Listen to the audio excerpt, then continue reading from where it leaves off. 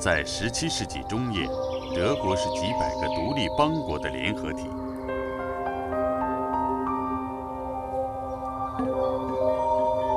成为神圣罗马帝国。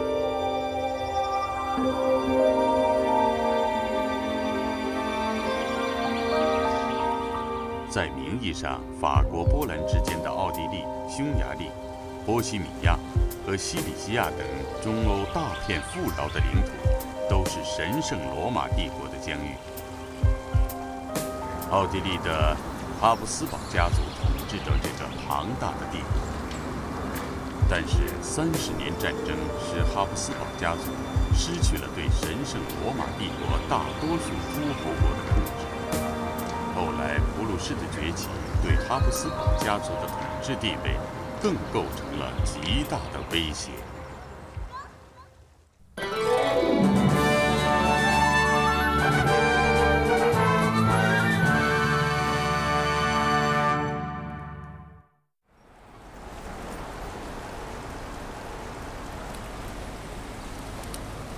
普鲁士原是一个贫困的德意志小邦。在神圣罗马帝国北部，拥有许多块分散的领地。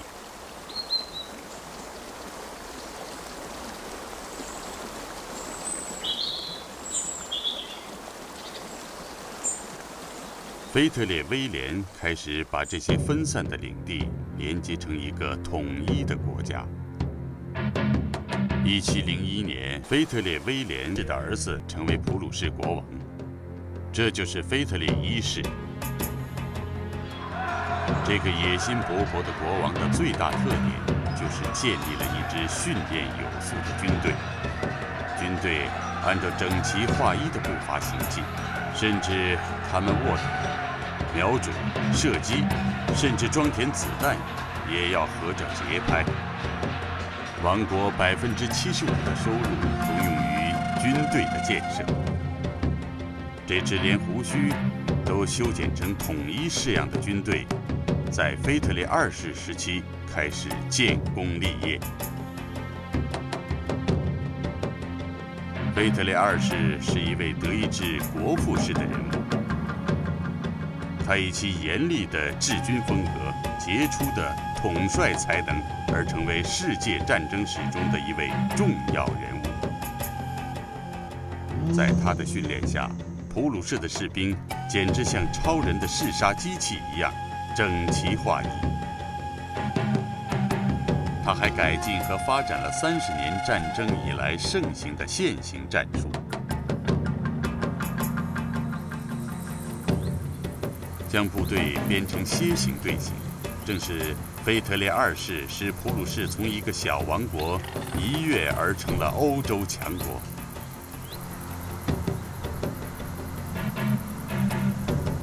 在1740年到1748年间，腓特烈二世率军两次击败奥地利军队，占领了奥地利控制的富饶的西里西亚，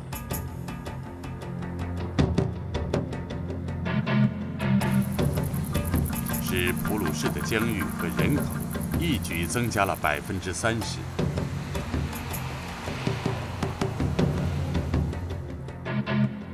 腓特烈二世也因此在其国内被尊称为腓特烈大帝。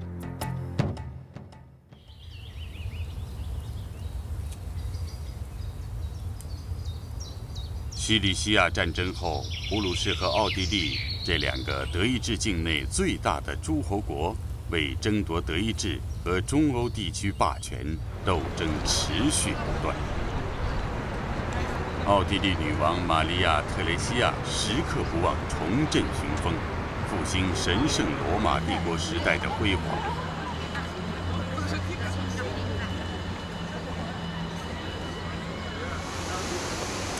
普鲁士国王腓特烈二世更是穷兵黩武，一心想用武力完成德意志的统一大业。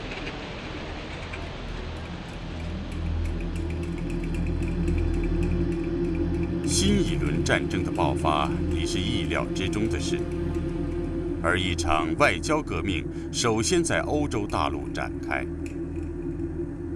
普奥之间围绕西里西亚和整个德意志霸权的争夺，打破了欧洲大国间传统的外交格局。他们在各自政治野心的驱动下，化宿敌为盟友，变盟友为新仇。首先调解外交战略的是奥地利。奥地利王位继承战争中付出的惨痛代价，使玛利亚·特蕾西亚女王认识到普鲁士已经成为奥地利的头号敌人。于是，他主动向传统的宿敌法国抛出了暧昧的绣球。英国为了把法国的力量牵制在欧洲大陆，一直以来以金钱支持法国的宿敌奥地利。奥地利王位继承战争后，英国看到新兴的普鲁士比奥地利更有力量，于是转而支持普鲁士。英普联盟迫使法国接受奥地利的示好，于是法奥这对老冤家摒弃前嫌。携手抗衡英普联盟。俄国呢，在十八世纪的北方战争中打败瑞典后，一心想吞并东普鲁士，继续向西扩张，因而不愿看到普鲁士强大起来，毅然撕毁了与英国的盟约，转而投向法奥一边。这场欧洲大国间的外交重组，最终形成以英普为一方，以法奥俄。为另一方的两大军事同盟，欧洲的政治格局由此发生了重大的转变，史学家们称之为欧洲的外交革命。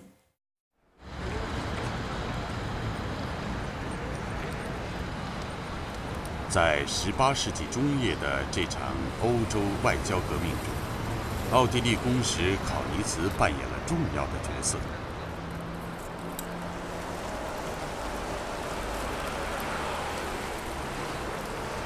考尼茨奉奥地利女王之命，多次出使巴黎。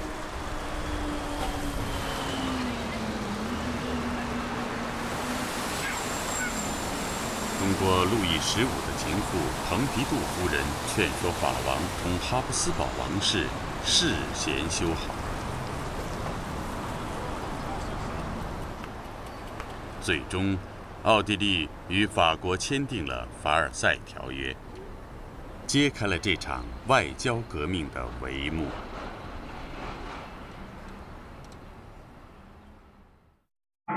与此同时，1756年1月16日，英国和普鲁士也签订了《白亭条约》，正式结成军事同盟。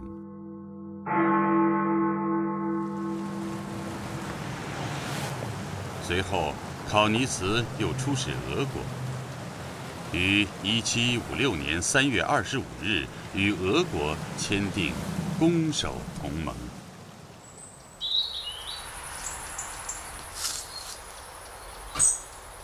当大国间的力量重组完成后，欧洲的其他中小国家出于各自不同的目的，也纷纷加入到两大军事同盟之中。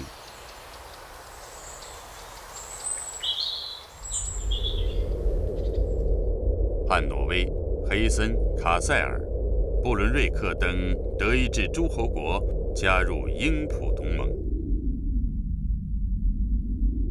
瑞典、西班牙、萨克森和大多数追随哈布斯堡王室的德意志诸侯国则加入法奥俄同盟。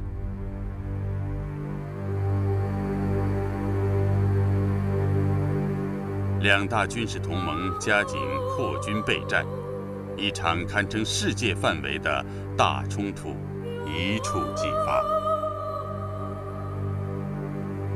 这场发生在1756到1763年的史称七年战争的大战，是欧洲两大军事集团为争夺欧洲霸权和殖民地而进行的。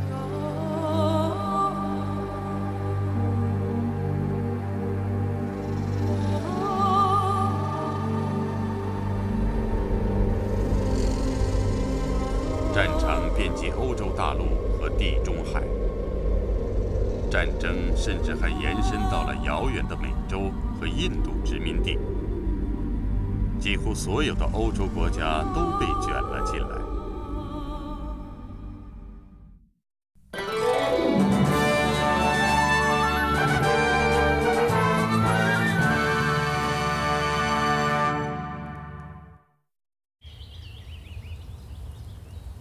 一七五六年八月二十八日，早已做好精心准备的腓特烈二世决定先发制人。他亲自率领十万大军，对普鲁士南部的萨克森发动突然袭击，占领了萨克森首府德累斯顿，引发了七年战争。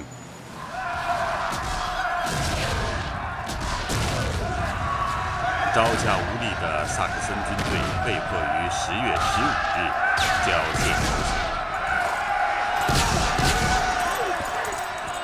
奥地利派布劳恩元帅领军前往增援，与普军在洛奥西茨一战，但未能挽回萨克森的败局。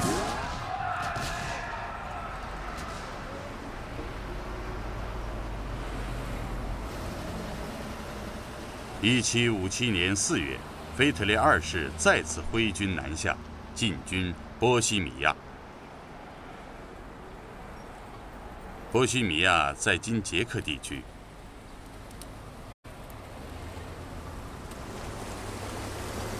普军一路势如破竹，围困了波西米亚首府布拉格。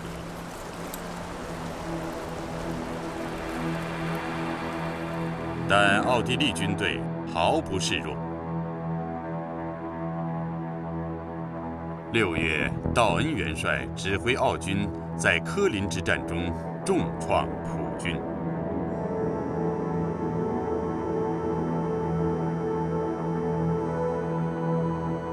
与此同时，法国军队在埃斯特列元帅指挥下占领了黑森、卡塞尔和汉诺威，向普鲁士边境大力推进。腓特烈二世面对数量占优势的对手，放弃了波西米亚，掉头迎击法军。而俄国军队趁机攻入东普鲁士。瑞典军队在普属波美拉尼亚登陆，奥军也追击进入西里西亚，形成对普鲁士的围困。月五日，腓特烈二世在四面受敌的情形下，在罗斯巴赫战役中孤注一掷，在他的骑兵司令官冯塞德雷茨的帮助下，仅用九十分钟就击败法军，以损失五百人的代价消灭法军七千余人。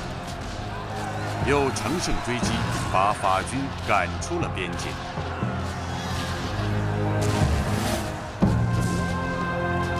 随后，腓特烈二世调遣四万精兵急行军进入西里西亚，在十二月五日的洛伊滕战役中大败奥军，以损失六千五百人的代价歼灭奥军。两万七千人，显示了腓特烈二世杰出的军事才能。随后，虽然1758年，奥法俄同盟发动军队近三十二万人，相当于普军的两倍，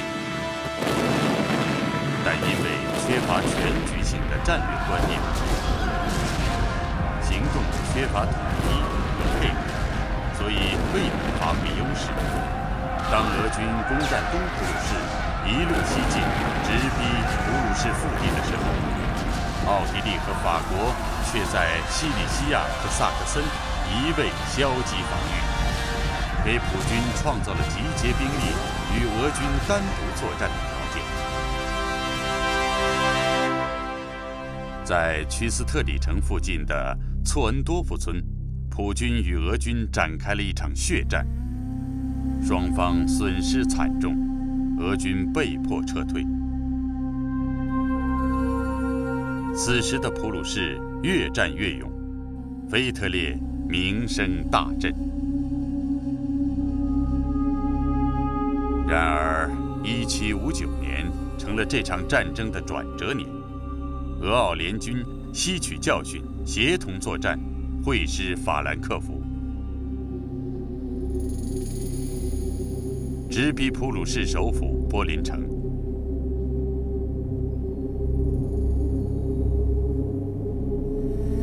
八月二十一日，普军与俄奥联军在库纳斯多夫展开了七年战争中最大规模的一次会战。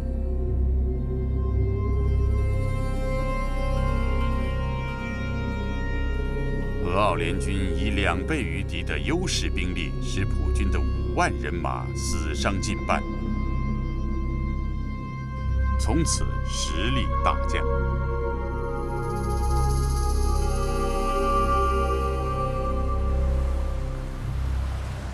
到了一七六零年，连年征战的普鲁士国库空虚，开始显得有些力不从心。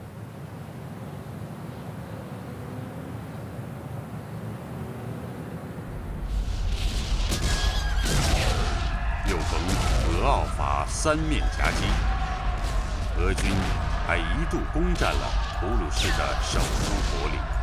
军力不足的腓特烈二世只剩下了招架之力，陷入苦撑危局的窘境。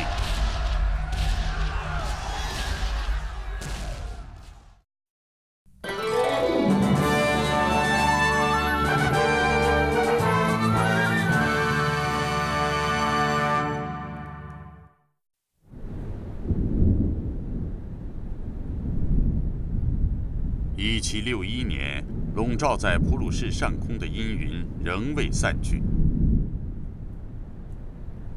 普军面临的严峻形势没有丝毫改变。俄奥联军不仅攻占了南西里西亚等大片领土，并且经过长期围困，终于攻克了科尔贝格。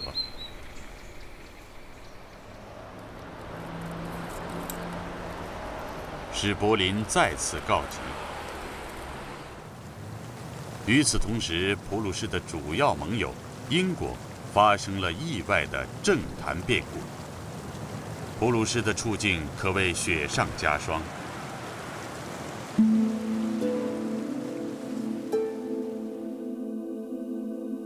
在一七六一年十月的英国议会大选中，一直极力支持普鲁士的老威廉·皮特。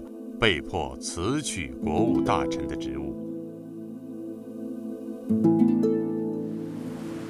正是因为他的坚持，英国才始终如一地资助普鲁士。皮特辞职后，英国政府中断了对普鲁士的财政援助，普鲁士军队几乎陷入了绝境。正当腓特烈二世万念俱灰的时候，一个戏剧性的事件挽救了霍亨索伦家族的命运。一七六二年一月五日，沙俄女皇伊丽莎白·彼得罗夫娜病逝，她的外甥彼得三世继位。彼得三世的母亲是彼得大帝的女儿。而他的父亲是一位德意志亲王。从小在德意志长大的彼得十分怀念普鲁士，对腓特烈二世更是推崇备至。他登基后立即宣布退出战争，把俄国占领的土地全部归还给普鲁士，并同普鲁士签订了同盟条约。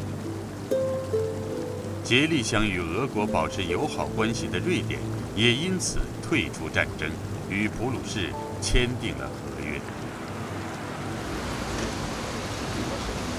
普鲁士绝处逢生，化险为夷。整个事件充满了戏剧性的变化，被后人称为“波兰登堡王室的奇迹”。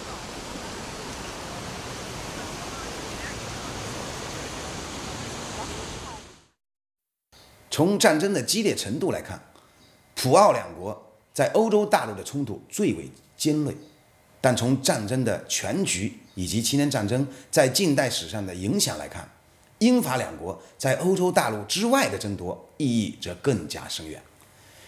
对于英国来说，争夺海外殖民地才是其主要的战略目的，因此海外战场是它的战略重点。法国呢，在海外战场的主要目的是抗击英国海军的攻势，全力保卫法国殖民地。可以说啊，海外战场的胜败才是真正关系战争全局和战后欧洲。政治格局走向的关键。在欧洲大陆鏖战的同时，英国和法国在海上和各殖民地也展开了激烈的争夺，构成了七年战争中的另一个战场。英法在北美的冰天雪地中展开了西线冲突，而东线的战斗。则在印度的酷热中进行。在广阔的美洲大陆上，英国和法国都有着相同的领土野心。七年战争爆发前，这里已经发生了零星战事。1756年，法国海军先发制人，攻占了英军控制的梅诺卡岛，抢得海战的先机。但是，随着欧洲大陆战局的变化，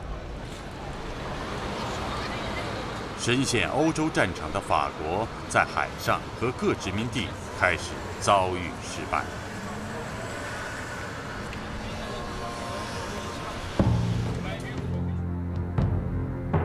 而依靠给普鲁士提供财力援助，从而牵制法国的英国，逐渐掌握了战争的主动权。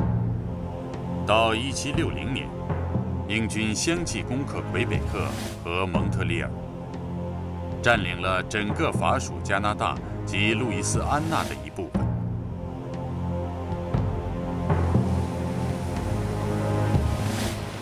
1762年，英军又从西班牙手中夺取了古巴岛，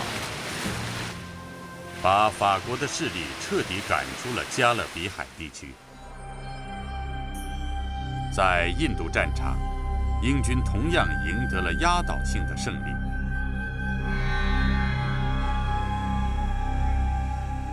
法国和英国曾经在这里建立了各自的东印度公司，他们在谋取暴利的同时，逐渐介入到了印度的政治事务之中。经过七年战争的争夺。大获全胜的英国几乎把整个印度半岛都变成了他的殖民地，法国则威信尽失。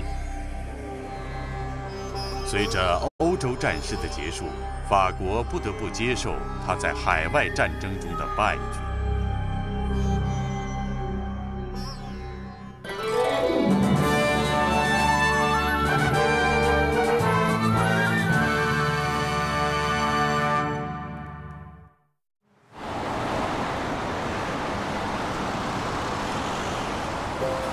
一七六三年二月十日，英国与法国在巴黎签订停战合约。二月十五日，以普鲁士为一方，奥地利和萨克森为另一方，正式签署了胡贝尔图斯堡合约。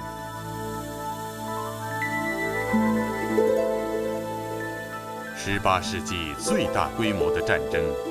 在经历了七年激烈、曲折复杂的角逐之后，就这样宣告了结束。七年战争啊，虽然没有决出最后的胜负，但是胜利的天平显然是倾向于英普同盟一方的。根据合约，普鲁士巩固了对西里西亚的领有权，从而跻身于欧洲大国之列，为最终完成德意志的统一迈出了第一步。而英国呢？取得了加拿大和法国割让的密西西比河以东的所有领土，使法国在印度只保留了几个山寨，并且用梅诺卡岛换取了塞内加尔，用古巴换取了佛罗里达的一部分，成为这场战争中的最大赢家，从而确立了他在海上的霸权地位，为日后大英殖民帝国的强盛奠定了坚实的基础。法国呢，丧失了北美和南亚的大部分殖民地，常年的战争使其财政濒临崩溃的边缘，国内阶级矛盾日益尖锐，最终导致了法国大革命的爆发。奥地利虽然保持了战前的地盘，但在欧洲的政治地位已经大不如前了。俄国呢，加强了自己作为欧洲强国的政治实力，为涉足欧洲事务创造了更多的条件。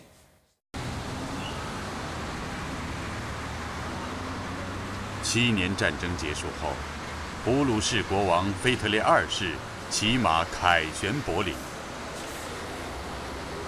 标志着普鲁士作为新的欧洲大国的地位已经不可动摇。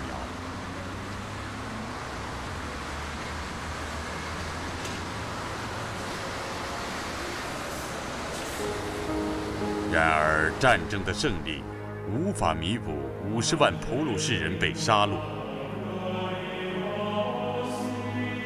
几千幢房屋被摧毁，大片领土被敌军劫掠蹂躏而留下的创伤。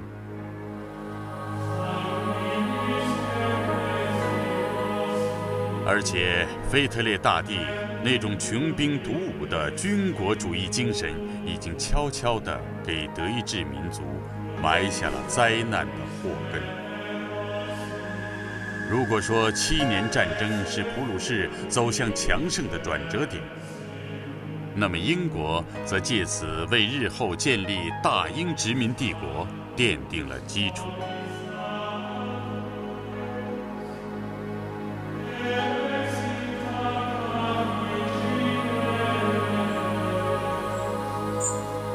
已经完成了资产阶级革命任务的英国。正处于以机器生产代替手工生产的工业革命时期，这使得英国的经济、军事实力获得长足的发展，为克敌制胜提供了充足的物质基础。英国又依仗岛国的有利地位，避免直接卷入欧洲大陆的战事。从而集中精力去夺取法国和西班牙的海外殖民地。正如后来俾斯麦所说，英国的政策从来就在于在欧洲寻找肯用自己的身躯维护英国利益的傻瓜。这一传统政策使英国在七年战争中成为最大的赢家。而且直到今天，仍然影响着英国政府的外交战略。